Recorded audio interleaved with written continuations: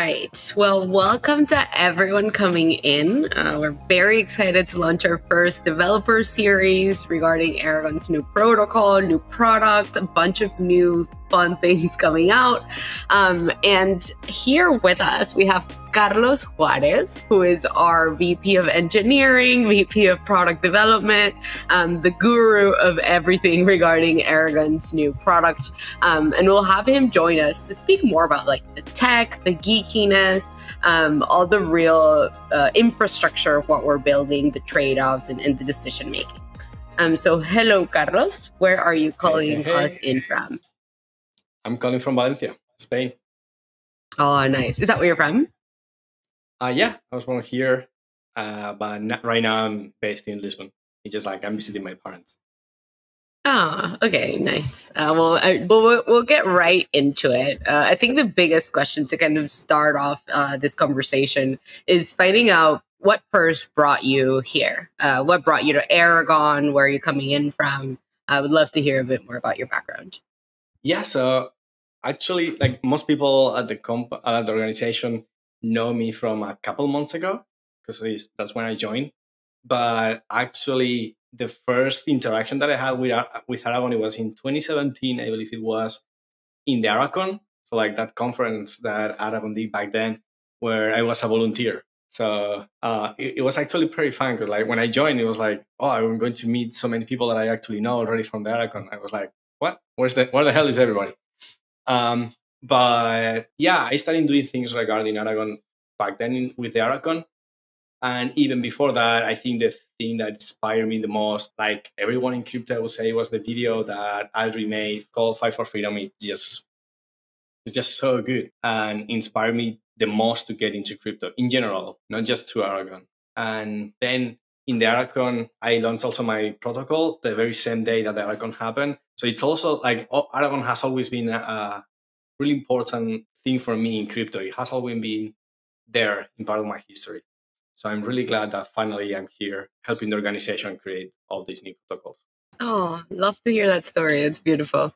Um, and to give uh, everyone else some context, uh, even within this journey, you said you launched your own protocol. Are you an engineer? What kind of uh, development do you usually do?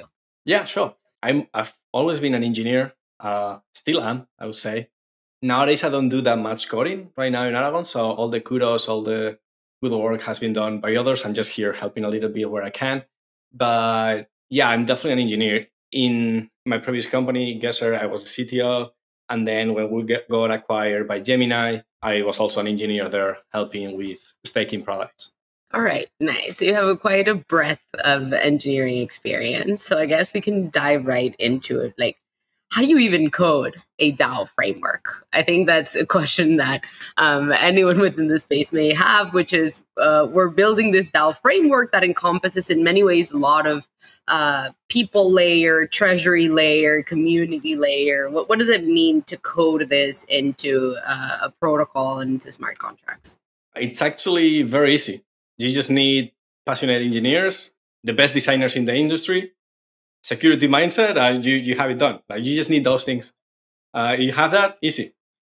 Not really. Um, so there are like what the important people here do. All these people, it's basically you first need a protocol in the terms of smart contracts that enables to have enough flexibility to grow with the with the DAOs that want to participate in. In the sense like anything can be a DAO, really. But if you want that DAO to function, it needs the proper procedures, it needs the proper connections, it needs the proper permission management. And that's what we do here. So if you want to code your own DAO framework, first you need to have that vision of all the pieces that need to be connected and then start one by one.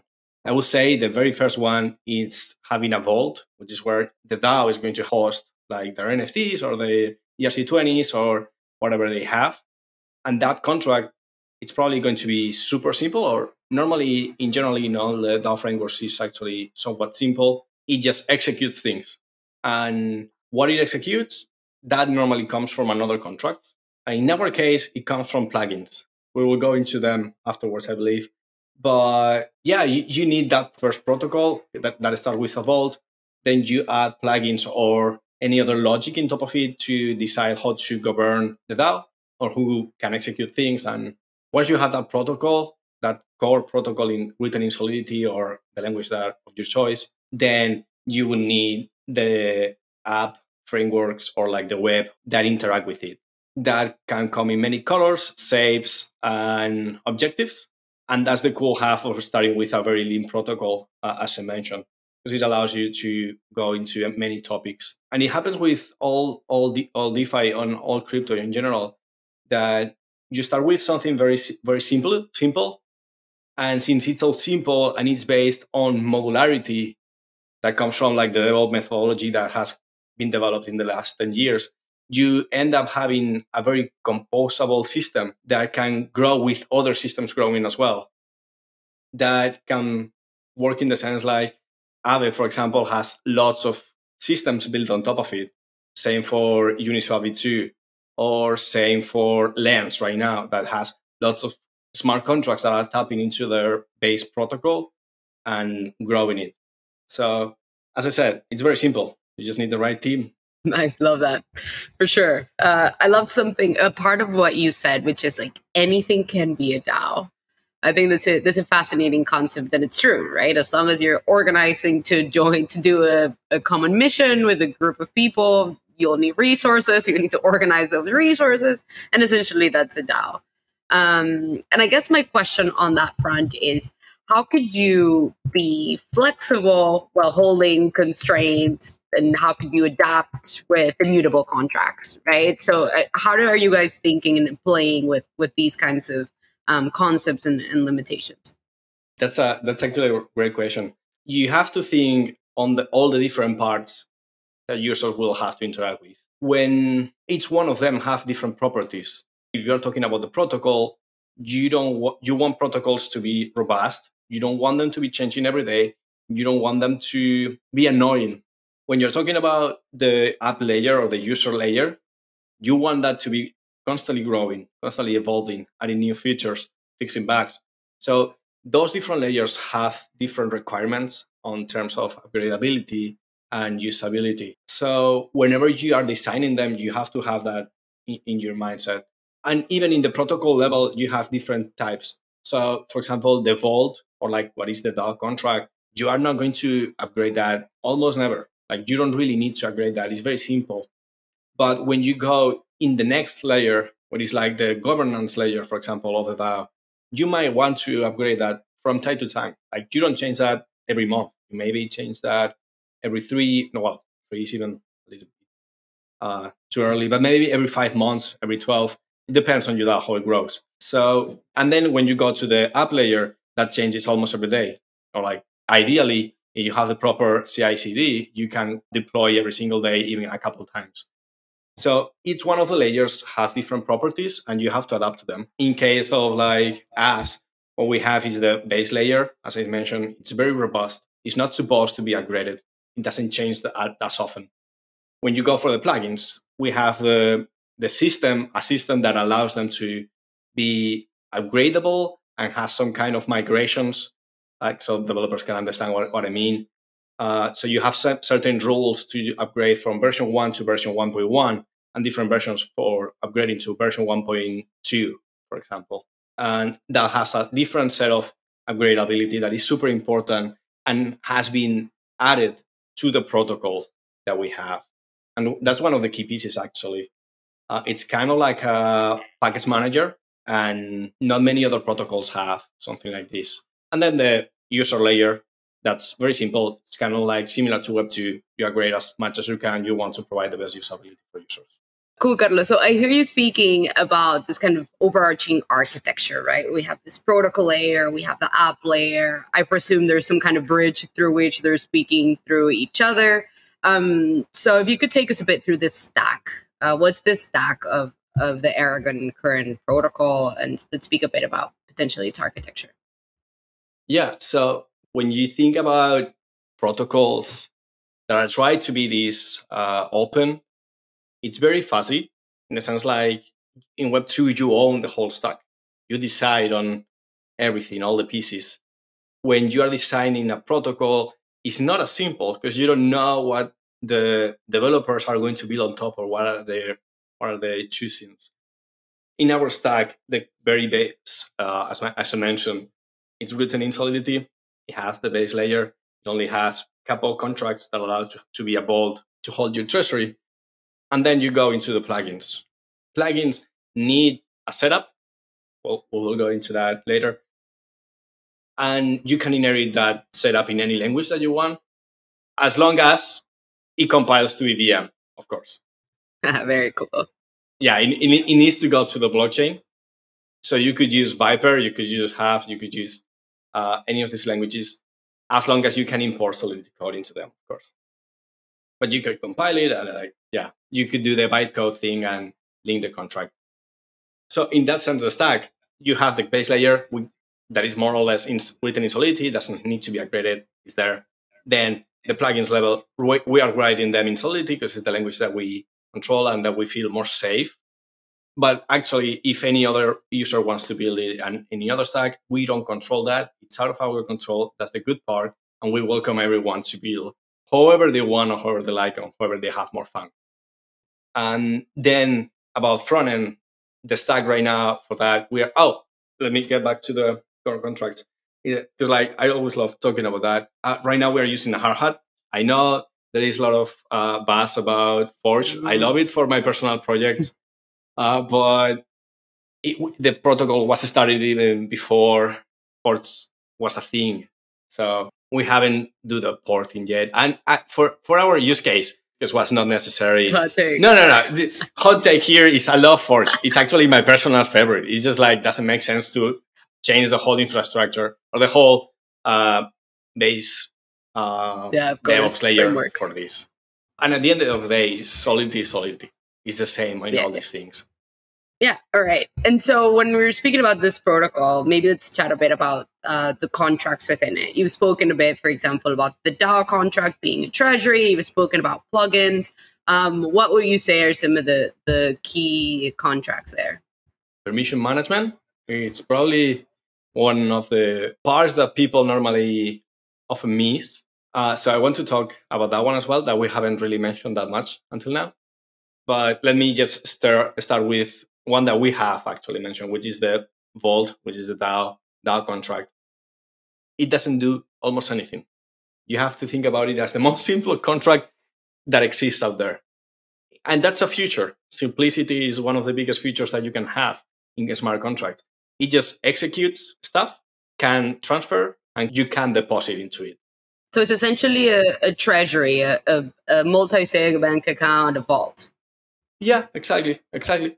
It doesn't do much, but that, that's the good thing. It doesn't have to do anything because if you force logic into it, then you will have that logic forever. Right. For example, if you think about multi-sigs, if you start your DAO as a multi-sig, it means that you are always going to have to uh, fight against that functionality once you grow. If you have three users or three members of the DAO, that's fine. But once you have 20, it doesn't make sense to have a multi-sig there. And you're just like running code on top of it, but without no reason. And even more when you go into higher numbers of members of the community. So that's why you need a very lean uh, contract that holds the funds and doesn't do anything. And everything else is just programmable based on your needs. If you want to build a multi-sig into it, fine. You have the vault that doesn't do anything, and then a plugin that is just the multi-sig. So once you have that vault and you have those logic that are able to execute anything on it, like governance plugins, you need to tie them somehow. You need to make to turn a rope from one to, to, to the other. And that's where the permission management come in, comes in.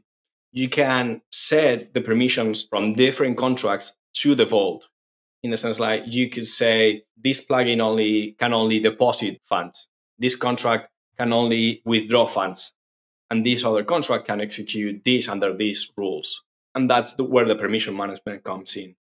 It allows for many cool things. For example you could set a governance plugin that allows you to withdraw i don't know $100 without having much quorum in the voting or having three to four votes would be enough for example for $100 but once you go into higher numbers, you might need another governance mechanism that requires super strong uh, quorum and minimum participation because like someone could drain your funds.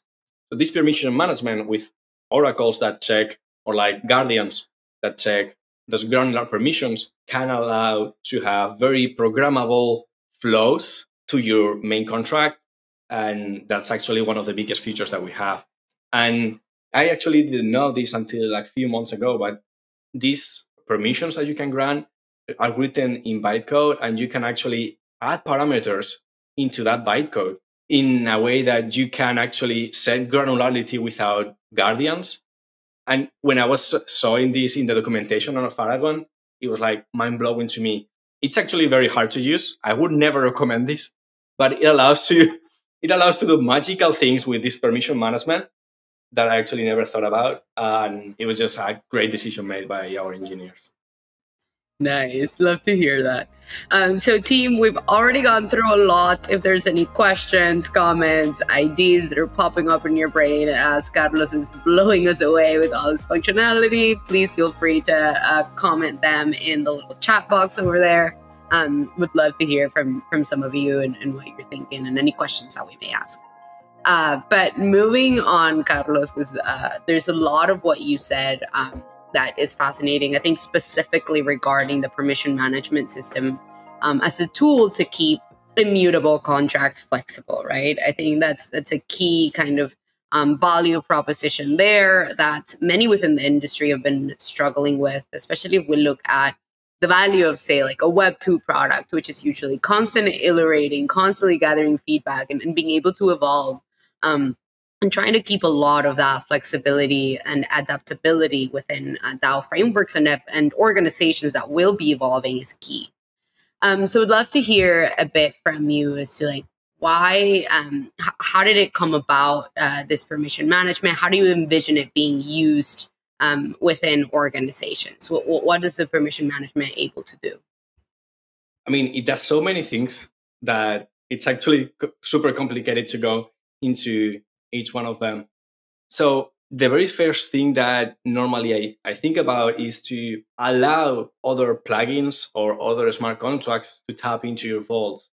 And whenever you don't want them to do that anymore, you just remove that permission. You don't have to deploy another contract. You don't have to upgrade the contract to disable it and then add another, another functionality as you have to do with many other frameworks. Like you don't have to do weird stuff yeah, for example, upgrading your contract just because you don't want it anymore and put it in blank just doesn't make sense. And many other protocols out there have to do that because they just think that they are going to need forever this specific feature. And contracts need to evolve.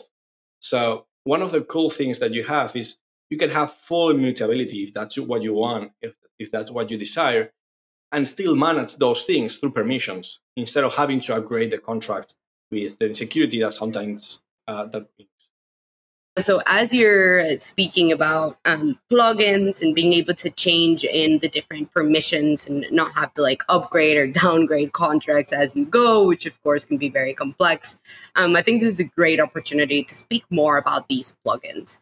Um, and I think the best way, whenever we're thinking of potentially these like con- uh, abstract um, ideas within programming, is to come with some examples so, what are some examples of plugins um, that come to you when, when we're thinking of plugins that we can build into a DAO framework?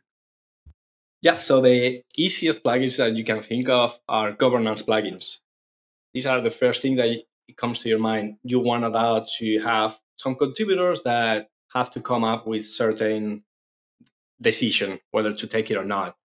Um, so having a plugin that enables people to a, like put up a proposal and then vote on it it's the very basic. And these governance plugins come in very a lot of colors and shapes. You can have delegated governance as a one plugin. You can have on-chain voting, normal ERC20s. You can have NFTs uh, voting.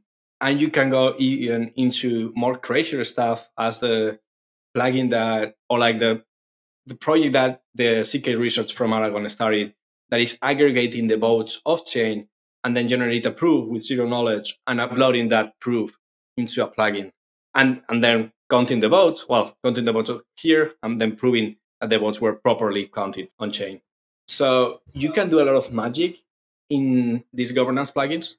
As I mentioned, like they can come from any any shape. You can integrate a snapshot into it if you want. You can integrate profiles uh, from Lens, and then these proposals can be posts on Lens. Like if you if you know a little bit about Lens, those are like a post is a contract.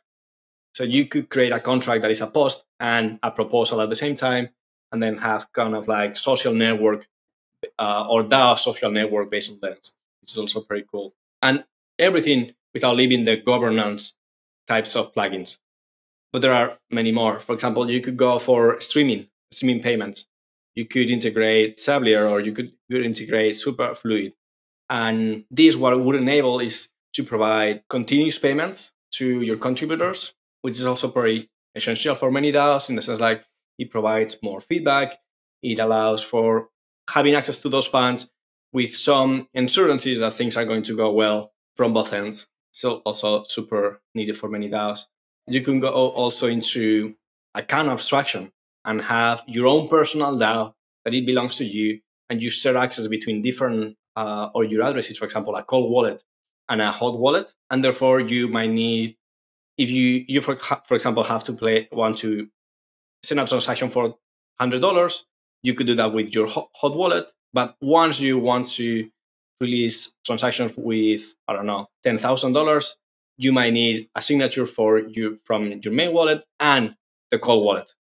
So having a, DAO, a personal DAO, it also makes lots of sense as it's a tons of security.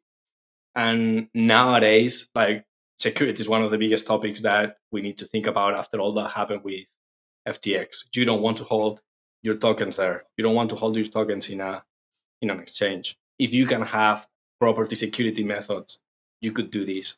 And people talk often about cold storage, which is great. Everyone to have a ledger. But at the same time, if we can add even more security on top of it, it's always great. Nice, nice. Love to hear that. Yeah, I think that paints a good picture of kind of the extensibility of uh, that DAOs can have, especially as it correlates with either like how they're making decisions or how they're combining with other projects. Um, I'm very excited to, to see a lot of that composability within the space for sure. Um, and to potentially connect uh, this topic that we've been going on in terms of like plugins and permission management, um, how, how are those two related? I think that that's something that uh, we've been kind of leaving out, and that is a key part of, of this mm. proposal that you're making. It's actually very amazing how complex it can get once you like really got into it. So the permission management is not only like we were before describing it's a way for connecting the plugins with the main DAO. And it's one of the greatest ways that you can do it. But the permission management goes way farther than that, way beyond. And you can have permission management from one plugin to another and then to the DAO. So let's say, for example, this is something that we are actually doing for our for our own DAO. So like we are actually using all these tools. Uh, the permission management is the same. You could have the voting that you're going to use here, but then you want to add a period or uh, let's say seven days where people can come in and think about the, the, the proposal. And then you have here the DAO. So what you do is you create a proposal through, through this delay or like this period. And once that period happens, it has permissions to create proposals in the voting app. And that voting app has permissions to execute on the DAO. So you could do these kind of like threads and chains of executions that allows to compose the plugins between themselves. So it goes way farther between just having a plugin and then a DAO. You have a chain of connections of plugins if you want, and connecting them, it's actually as easy as just having permissions. Super powerful. Uh, I love to love to hear that and kind of uh, envision all the possibilities that could be done there. I just wanted to mention how it works, like more or less, more more into like the technical level. So like developers can take a picture of how really it works in, in code. Basically, this is a modifier. When you program the plugin, you set the permissions that it needs in bytecode. Like it's like adding there the bytecode of the function. And whenever you want that permission to have it to, uh, to someone, you just call a function like, hey, set the, this permission to this address or set this address this permission. That way, when you call it, it will call a modifier. Hey, this per- this address has this permission. Yeah, and then it will it will execute that function. So this permission management doesn't go just to the whole contract. It can have as much granularity as you want for your plugin. Huge, nice. Yeah, in many ways, it's like authorization, right? As we're used to thinking in like other ways of uh, software development practices, it seems like it's essentially an authorization modifier embedded within functions and within contracts themselves. Exactly. Nice. It comes everything from modularity. Sweet. And can anyone build plugins, um, or who's currently building these uh, extensions for the for the framework? So, I mean, anyone can build plugins, really uh, as long like we don't have permissions over it. We don't ask you to do anything. You don't have to pay us. You don't need to get an api you don't need to give your you don't even need to give your email. You just it's very yeah it's very annoying. Like all these web 2 applications need your email just to check the weather. Like why? So here what you do is just you have to program two sections of a plugin so you need to know how to program. That's it. That is true. So there, that's that. That's the big barrier. If you have that, it's fine. And in terms of like de- developing it, it's actually pretty simple. And that was like one of the biggest concerns and things that we had in mind when developing this uh, protocol. And I'm sure Jordi next time will get into all the tranches on how was like so hard building something that is super simple and the same time is super robust. But basically you have the implementation of the logic and then you have the plugin setup. The plugin setup knows about this implementation and what it does, it's preparing the installation, the, update, the updating, and then installation of it. It also asks for the permissions, it handles the permission management and all that stuff. And the implementation, even though there is one there that you that it's cloned, it's deployed per DAO. So each DAO has its own implementation that stores all the data to allow for migrations and storage, basically.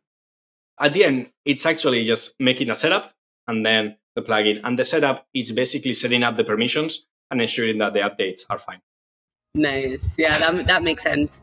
Um, I guess I love that you just mentioned specifically, like, oh, you need to learn how to program, like, you need to know how to program in order to code plugins. Like, that makes sense. And so I'd love to take in a bit of like that segue into you know, bringing up the topic that, of course, most people within DAOs are not engineers. Um, and so would love to uh, hear about the end user, right? So this is kind of, we've been mm. speaking about the protocol layer, that's the base, but of course that will not be how people are usually interacting with, um, with our framework. So maybe let's speak a bit more about that end user and, and how does that interface look like? Totally. So that's a very, very a good point. Not many people think about it when thinking about like developing plugins. And actually, it's very important. And it comes also down to the permission management system in the sense like, yeah, if you don't know how to program, it's going to be hard to do the code. But at the same time, the way that the system is designed based on permission management systems is that you can use them as Legos. So even if you don't know how to build something from the ground up, it's fine because you can just use pieces from different plugins plug them in with the permission management system, setting the proper roles for each one of them, and then everything ends up to the DAO. So you, even if you don't haven't coded anything, you still through the different UIs, you can set up the plugin like the permissions to each one of them until you have a very complex functionality that you might want. So even then can actually use all these pieces. Nice. I love that. Um, and so then Aragon is building such a app and interface. Uh, are they? Are we simply expecting like other engineers to be building different interfaces, uh, or how is it looking like uh, from the user experience of this protocol? We are actually building one interface with what we believe that right now it makes sense and does need. That doesn't mean that we cover 100% of the use cases. It just covers the one that we believe we want to work on so we need help. Like this is not only on us. If we want DAOs to be a thing, if we want people to be able to work freely from whenever they want, however they want, on the things they want, we need more interfaces and minds working on this very same problem. And that's the cool thing about this core protocol is that allows anyone to build anything on top of it. Right now we are building our app, which is actually going pretty well lately. I think we be able to have soon, not saying dates, uh, a beta for everyone to try it out. So what we have right now in our in our mindset for this app is to do the most basic stuffs, like the most basic core things that a DAO needs, but do them well. Finally, do them well, and not just like no, but it doesn't doesn't allow this, or I'm having bugs. This no, It's just doing the right things well and not going into crazy ideas or moonshot things that nobody has tested out. We're going for the basics, but ensuring those basics have the best user experience and is, are the most human centric a DAO can be at this stage. Still, you need to know about crypto, but once you have done that step, this will make a lot of sense to you what we are building. Nice. And I presume then, like, if uh, Aragon is building its own app and its own interface as well as the protocol, um, could you speak a bit about like how these two are connecting to each other? Uh, are they are you also releasing an SDK? Are they simply tapping directly into the contracts? Uh, how is that looking? Oh my god, Juliet, how can you make these questions so good? Like it's like it's like you knew everything. Yeah, so the SDK, you love the SDK. We all love the SDK, really. Um, this is the we are building. Yeah, we are building obviously an SDK that allows anyone to tap into this protocol without really know having to know anything about smart contracts or the governance systems or even plugins. This SDK allows you to deploy DAOs, and since DAOs are nothing, are just like a vault, everything else, it's up to you. It's up to the plugins that are also in the SDK. So basically, it allows to, for you to create different types of hyperstructures that you can build like the Legos in pure JavaScript. Like you don't, it, it's literally like no more than no more than 15, no, well, no more than 10 lines of code, maybe 15. But it's very, very simple. And I think Juliet, you're building great tutorials and great documentation and great developer portals for anyone to tap into it. Hmm, nice, that's exciting. Yeah, it'll, it'll, be exciting to see how people use it in some ways that potentially uh, the builders that built it itself haven't even envisioned. I think that's always the the funnest part to see the different ideas come around from the same tools. We are eating our own uh, meals in the sense like we're we are building this SDK and the app is using it. So like the, our own front end purely uses the SDK. And this is something that we had in mind when designing the app in the sense like we want to provide these tools for other developers to build on top of it. And if we cannot use them, or if they are not as useful for us as we wanted to, it won't be useful for any for other developers either. So every every logic when creating DAOs, vaulting, creating proposals, all that stuff is in the SDK. That includes graph, subgraphs. That includes IPFS connections. That includes contract if we need to go to the contract directly includes the RPC connections, includes everything. So you don't have to worry about anything at all. And that's important because like we wanted to we wanted to have that for our own UIs. So the recent tools that we use, exactly the same ones, everyone can access to. Juicy. Love that. Um, all right, so we're coming to an end. Would love to hear from uh, the team here. If you have any questions, comments, ideas, anything that sparked your brain as Carlos was describing all this in so much depth, uh, please feel free to chat them in. It will be lovely to get you in and, and have those answered. But I guess before we wrap up, Carlos, the question of the year when will this be ready? Is it ready already? When can I start testing it out? Uh, what's the framework for the roadmap there? Um, is it ready? Um, I would say it's almost there. Almost there. The contracts are already in, in Goerli, so I encourage everyone to go there, uh, see them, read through them, interact with them if they want to. Um, documentation is getting there, right, Juliet? Yes, yes. And uh, so, yeah, in Goerli, you can try them out. The SDK is working. Uh, so I encourage everyone to go there, try them out at developdevs.aragon.org. And in terms of the app, this week it was like pretty crazy. We've done amazing advancements this week but it's not there yet. It's very close, but not there yet. We'll be trying out internally uh, this week and testing it heavily. So you can expect news soon. Nice. Love to hear it. So the idea is that we're this is the first one. We wanted to bring Carlos in, who is our genius uh, tech lead, engineering, product development human leading leading a lot of these efforts. So he's the first one we wanted to bring in to map out the whole architecture of uh, of the entire protocol and the product. But over the next few weeks, we'll be bringing our other engineers who have been deep into coding for the past few months, and we'll be touching upon each of these sections in a lot more depth. Um, so we'll be talking about plugins specifically, permission management, the app, the SDK, how everything is wrapping together. Um, so if you found this interesting, please hold up for the next ones. Uh, we'll be sure to bring in some more geeky fun. Um, okay, I see we have one question. Very nice. It says, how much of programming do you need to know to create plugins? What are some dream DAOs you would love to have built on this? As long as you know a bit of Solidity, you are pretty much good to go you need to import from the base plugin, the plugin setup, and then add your custom logic.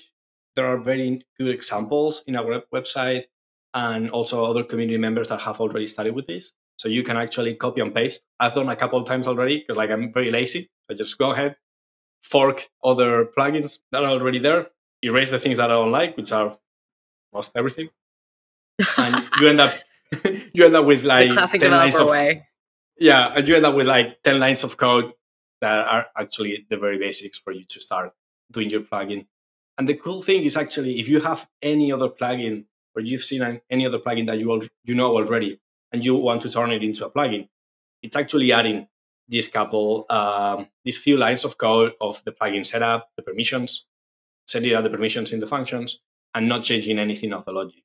So it's actually pretty easy to program them as long as you have some basic knowledge of Solidity. If you don't know Solidity, that's still somewhat fine in the sense like you cannot build your own plugin, but with the SDK, you can use them as you want and transform them in a way that is new and no one thought about. So it's just still okay. So could I build, say, like a custom DAO merely with the SDK, or do I need to know Solidity in order to do that? Definitely, you can. You can. Yeah, yeah, yeah. You can use those plugins however you want like make them they are kind of like a puzzle where everything actually fits.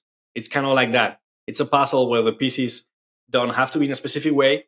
They can be in the way that you like and the picture will be exactly whatever you want. Um, you just the connections are through the permission management. And at the end you end up with this nice picture of the puzzle with that has all the connections that you wanted. So with the SDK, SDK you are completely fine. Nice. Love to hear that um, for all our JavaScript developers out there who are certainly a lot more than the Solidity one. So that's great to hear. Um, all right, so we're coming to an end. Uh, if you found any of this interesting, we've been writing a lot of articles on the architecture and this whole DAO framework and how we're thinking about permission management and plugins. Um, so please feel free to go to our blog, aragon.org slash blog. There'll be a lot of content there. I'm turning it especially more and more technical as we're reaching a launch date. So for all you developers out there, um, if you have any questions, uh, anything that keeps coming up as potentially you go through the code base or, or spark some ideas, please feel free to reach out to me, be it on Twitter, be it on Discord. Uh, feel free to join in. We're having great uh, conversations on our dev chat channel. Um, providing a lot of support for developers coming in and trying to build on top of us. So happy to have you involved in our community um, and excited to welcome in any of those crazy and fun ideas that you may be having.